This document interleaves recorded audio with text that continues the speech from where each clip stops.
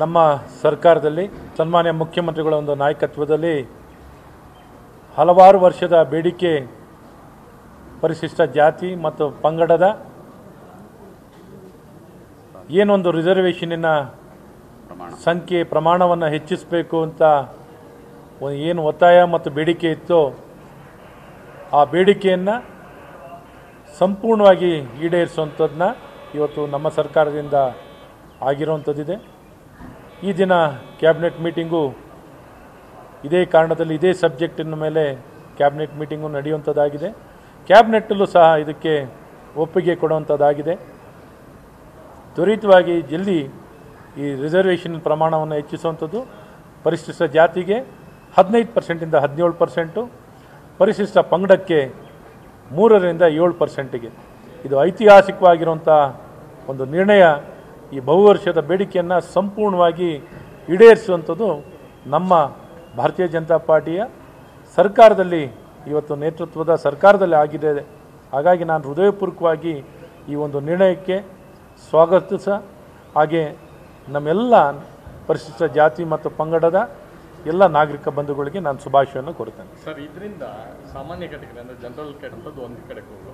ಮತ್ತು ಐವತ್ತು ಪರ್ಸೆಂಟ್ ಮೀಸಲಾತಿ ಮೀರಿದಂತೆ ಸುಪ್ರೀಂ ಕೋರ್ಟ್ ಕೂಡ ಒಂದಷ್ಟು ರಾಜ್ಯಗಳಲ್ಲಿ ಈಗಾಗಲೇ ಇರೋದ್ರಿಂದ ಅದನ್ನು ಕೂಡ ವಿರೋಧಿಸಿದ್ದಾರೆ ಇದು ತುಂಬ ರಾಜ್ಯದಲ್ಲಿ ಈ ಒಂದು ಸೀಲಿಂಗನ್ನು ಬ್ರೇಕ್ ಆಗಿರುವಂಥದ್ದಿದೆ.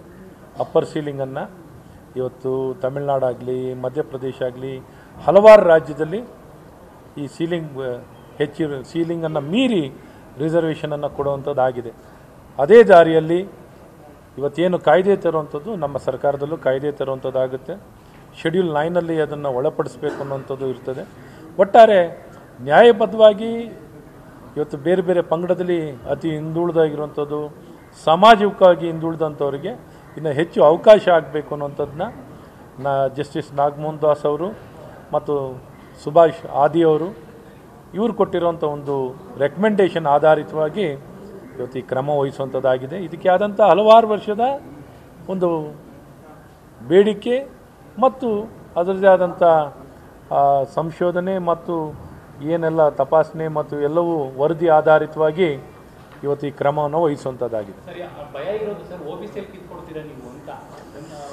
ಒ ಬಿ ಸಿ ರಿಸರ್ವೇಷನ್ ಟಚ್ಚೇ ಮಾಡಿಲ್ವಲ್ಲ? ಈಗ ಮೂವತ್ತೆರಡು ಪರ್ಸೆಂಟ್ ಇದೆ ಒ ಬಿ ಸಿ ರಿಸರ್ವೇಷನ್ ಅದು ಇದೆ ಏನು ಟಚ್ ಆಗಿಲ್ಲ ಸೊ ಯಾವುದೂ ಟಚ್ ಆಗಿರೋಂಥದ್ದಿಲ್ಲ. ಇನ್ನು ಹೆಚ್ಚು ಈ ಸಿಕ್ಕಿರೋಂಥದ್ದು. ಇನ್ನು ಮುಂದಿನ ದಿನದಲ್ಲಿ ಬೇರೆ ಬೇರೆ ಇವಾಗ ಇವೆಲ್ಲ ವಿಚಾರಗಳನ್ನು ಬೇರೆ ಮುಂದಿನ ದಿನದಲ್ಲಿ ಈಗ ಪರಿಶಿಷ್ಟ ಜಾತಿ ಮತ್ತು ಪಂಗಡ ವಿಚಾರದಲ್ಲಿ ಈಗ ಕ್ರಮ ವಹಿಸುವಂಥದ್ದಾಗಿದೆ? ಈಗ ಆ ವಿಚಾರದಲ್ಲಿ ಮುಂದಿನ ಕ್ಯಾಬಿನೆಟ್ನಲ್ಲಿ ತಗೊಳ್ಳುವಂಥದ್ದಾಗಿದೆ. ನ್ಯೂಸ್ ಫಸ್ಟ್ ಪ್ರತಿಕ್ಷಣ ನಿಮ್ಮ